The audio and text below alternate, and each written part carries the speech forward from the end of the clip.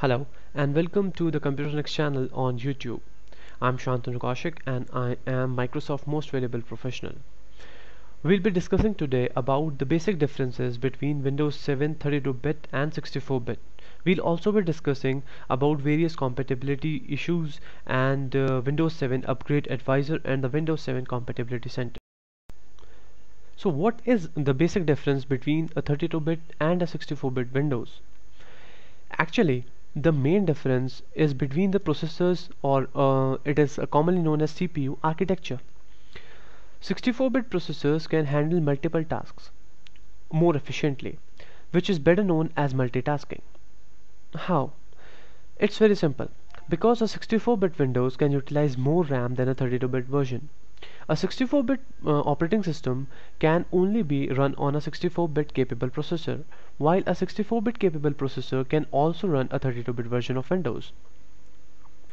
Though a 64-bit version of Windows can be installed on a much lesser RAM uh, say 1.5 GB or 2 GB or even 1 GB but it is always recommended to use a 64-bit operating system when you're using more than 4 GB of RAM uh, because it can very well handle that amount of RAM.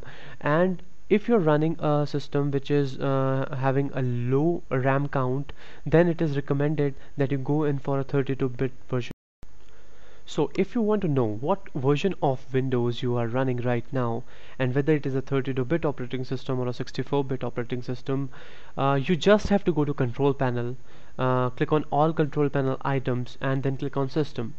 There under system type you can see clearly mentioned that uh, it is a 64-bit operating system that I am running.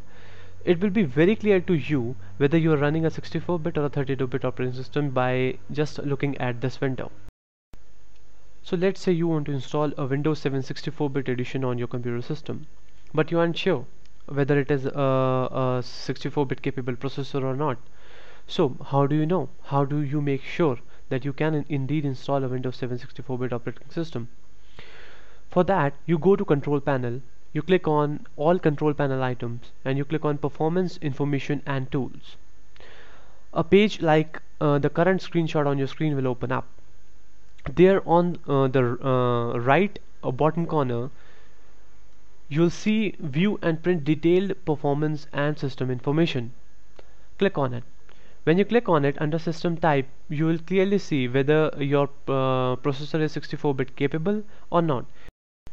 When upgrading from the current version of Windows to the next version of Windows, it is always recommended to make sure that all your programs and your settings will run on the next version of Windows. For that, Microsoft has a Windows 7 Upgrade Advisor.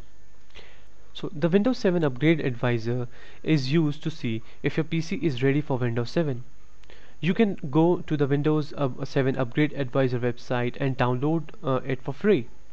So if your PC can uh, run Windows 7 you will know each and every part of it. If a program or a current hardware isn't uh, very much compatible with Windows 7 uh, you will see in that uh, report generated by the Windows 7 upgrade advisor.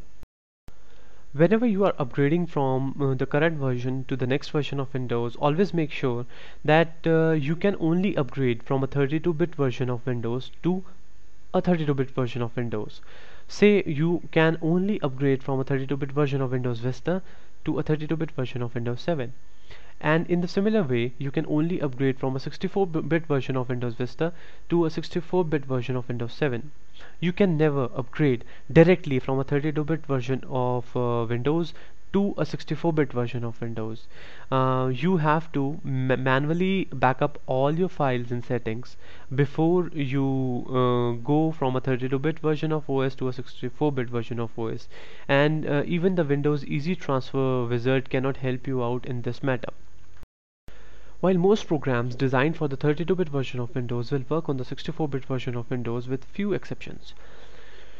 But if you want to uh, find programs and devices that work with Windows 7 you have to look for the product that displays the compatible with Windows 7 logo that means that they have been tested to be compatible with both the 32-bit and 64-bit version of Windows You can also go online on the Windows 7 Compatibility Center and check to see whether the program or device is compatible with 64-bit version of Windows or not.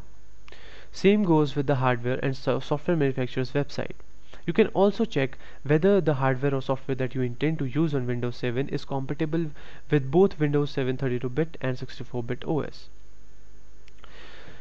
There's one more thing if you are going to install a 64-bit version of Windows you have to have the 64-bit device drivers all hardware device drivers that you want to run on the 64-bit version of Windows will need new drivers for that you have to go to the uh, to the Windows 7 upgrade advisor and check whether uh, the device that you are using currently will run on the Windows 7 64-bit uh, bit version or not.